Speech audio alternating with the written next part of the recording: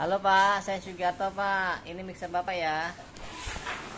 Ya Pak, para mixer 20 liter merek Sinak Taiwan. Kondisi masih keras nih ya Pak. Ini cara ininya. Ini uh, ada Pentolannya ya.